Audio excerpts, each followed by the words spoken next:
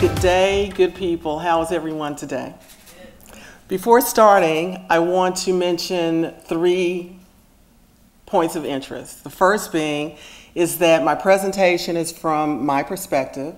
Secondly, it's only a very brief snapshot of the work that we do in workforce management um, office within ERE. And thirdly, some of the graphics may be quite offensive to some, but I just want to prepare you. So now that I have your attention, let's start with a nice quote from Carla Van, de, Van. And here she says that there is no common sense when it comes to, to diversity. However, when we look at diversity and, and inclusion, it's very uncommon because it's something that we have to work towards through awareness, education, and most importantly, active practice.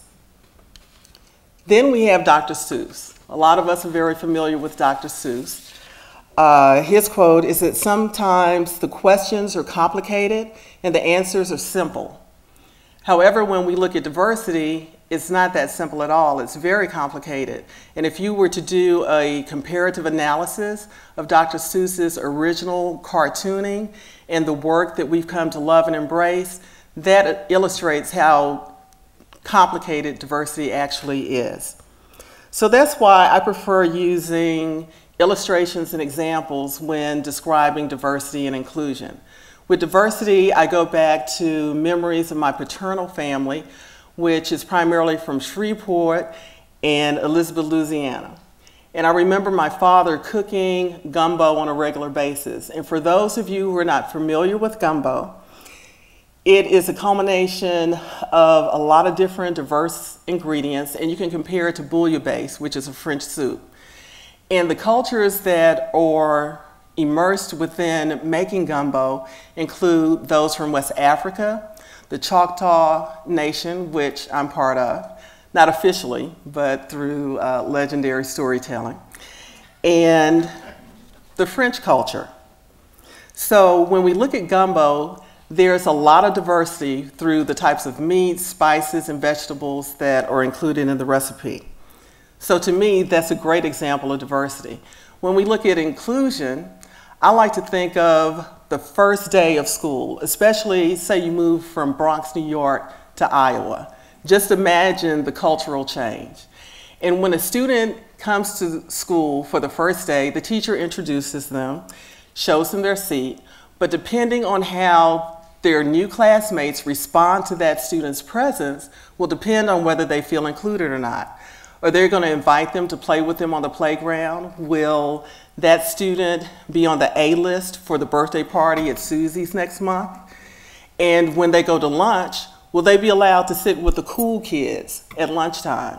And then more importantly, when they're in class and they're asking questions and participating in the discussions, will the classmates snicker and laugh and make them feel uncomfortable and insignificant, or will they encourage them to participate?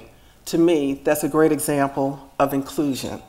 So when we look at the One DOE campaign, it is geared to help us promote and implement diversity and inclusion in our organization.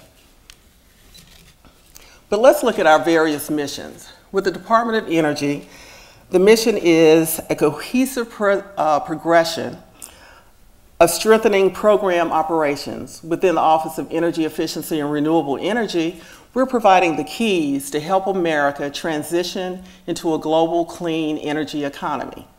For the Workforce Management Office, we support program mission drivers such as training, education, mentorship, diversity, outreach, and STEM, just to name a few.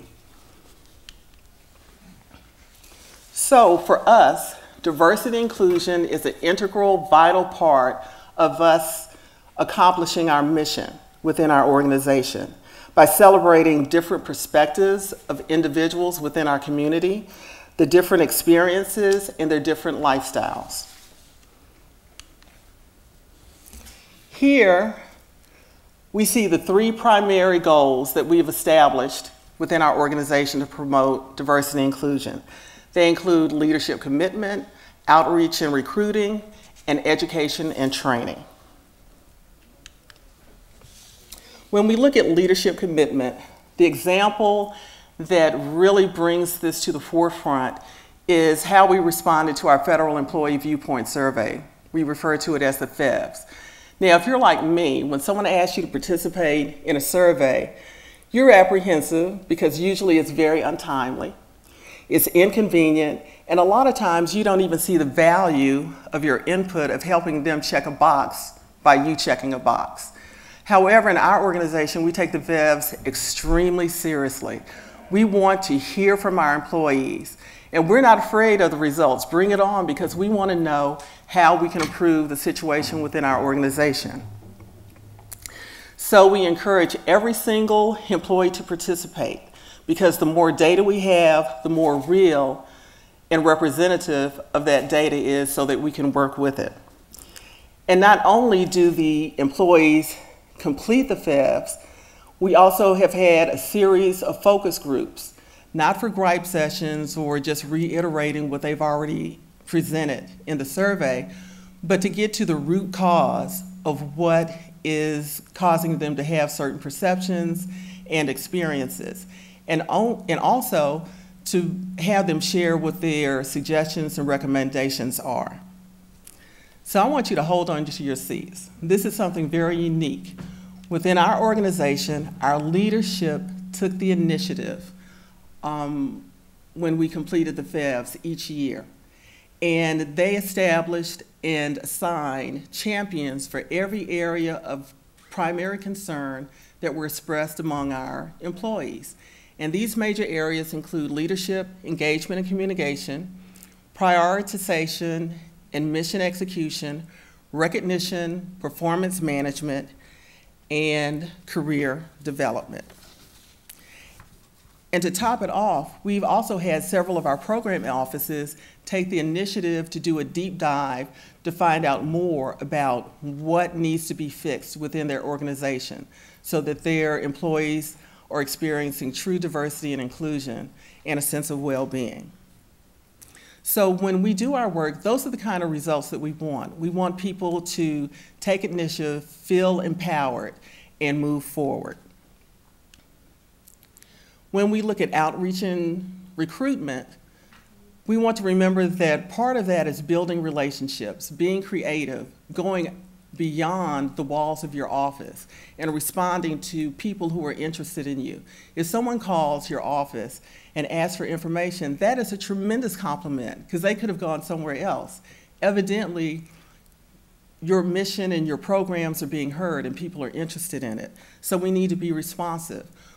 The example that I present here is our first STEM Interactive Expo, where we invited two local schools to come in and have FaceTime with our energy experts and be able to touch and have interaction with technology firsthand.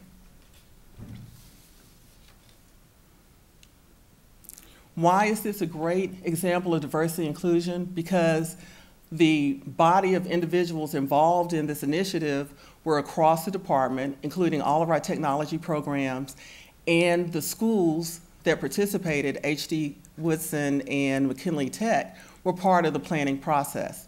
We didn't just shove it down their throat and just said, this is what we're going to do. We wanted to hear from them how we can make this a success, and it was. So this is how we build relationships and fuel active, an active STEM pipeline to build up our workforce. And that relationship with these two schools have continued. We continue to share information and have even been invited to be a part of their advisory board. Then we have training and education. The example I would like to present to you is our student volunteer internship program. Why is this unique and a great example of inclusion?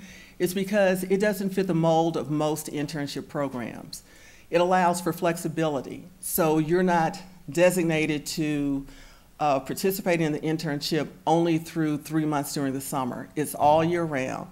And students are not confined to only being in STEM disciplines and having a certain GPA. They can be in a community uh, college or even a trade school. So this program helps establish competitive, a competitive edge for long-term success. But just don't take my word for it. Look at these smiling faces. The interns are happy, they're engaged, and they're participating. And not just taking my word, let me share with you what the majority, the overwhelming majority of our interns have to say about their experience in our organization. That they're treated with dignity and respect. They're treated as professionals. The work that they do complements their interests, and they feel that it's important and valued. And also that their work, they can see immediate tangible results on how what they contribute supports our mission. So here's one of those offensive graphics, and you may be saying, why is there a frog in the presentation? There are two reasons. One, it's my presentation. Two, I love amphibians, specifically frogs. And when I look back on my childhood, imageries pop up of growing up in Texas and frogs croaking in the wee hours of the morning. And when you go outside, they're hopping through the grass that's filled with dew. And there's Mama Brock, my father's mother, who would, on a routine basis, fry frog legs, which I never took part in. And then there's Mrs. Burnett, my science teacher in high school, who just praised me endlessly on the superb dissection skills that I had on dissecting the frog in class. But more importantly, there are two important facts that we can learn from frogs. One is that it's impossible for frogs to hop backwards. Two, they cannot turn their heads to look behind them. And I like to compare these characteristics to our organization. We're forward thinking, progressive, and we enable our employees to move forward. So, in keeping with the concept of moving forward in mind, Let's look at three things about an inclus- leading an inclusive journey. One is that it's real. The day that you're born into this world and the air slaps you in the face, I'm sorry, when you emerge into your new life and the wind caresses your cheek, the journey has begun. Whether it's short, long, complicated, uh, with ease, th- there is a journey, and a journey you will have. The other is that it's ever changing. And the only constant in life is change, and we experience that regularly um, within the work that we do. Thirdly, it's self directed. When you get up in the morning, you make a conscious decision to go to work. And if you run into a detour, you can sit and wait for the road to clear, or you can take another path and possibly get to your original destination, or even more inspiring, maybe you end up in a place that's more blissful and rewarding. So while you go along this path, remember to be present, physically and mentally. Take off your mask. Show us what, what you're made of. We want to know about you, and then be receptive to do the same for others. Then you need to be vocal. Voice your opinions, share your ideas, offer solutions to problems. Be accountable, be responsible, and take ownership of your work. And we also need you to be available. You can be present, but not there. How many people know situations like that? So you want to be available. You want to participate, engage, share your ideas, your experiences, and your skills with others. And then you want to be courageous. It's very important to continue learning so that you can grow. We never arrive. That's number one mantra that my mother has. The second she's 92 by the way, is that as long as there's breath in her body, she will continue to learn.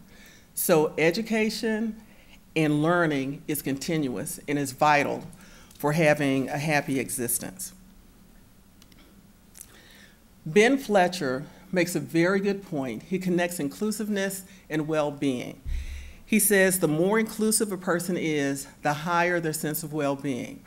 And to add to that, when someone has a high sense of well being, they're more productive. And how much more can your mission benefit from people who have a high sense of well being and productive?